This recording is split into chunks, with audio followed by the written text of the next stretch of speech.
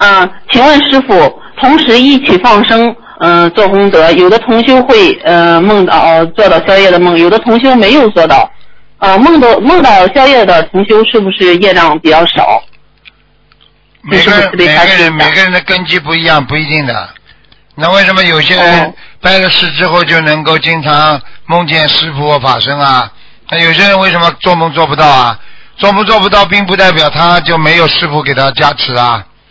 听得懂吗？哦，只是他自己的这个感觉不不敏感，或者可能他的过去的业障比较重，但是呢，嗯你就是感觉没感觉一样的，就比方说打针一样，有的人痛感很少，有的人痛感比较厉害，有的人针一进去，哦哟痛的不得了，有的人针冲针插进去没感觉的，那总是在打针啊，听得懂了吗？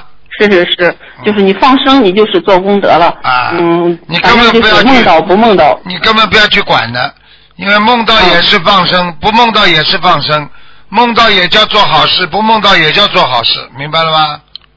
嗯，明白了明白了。嗯。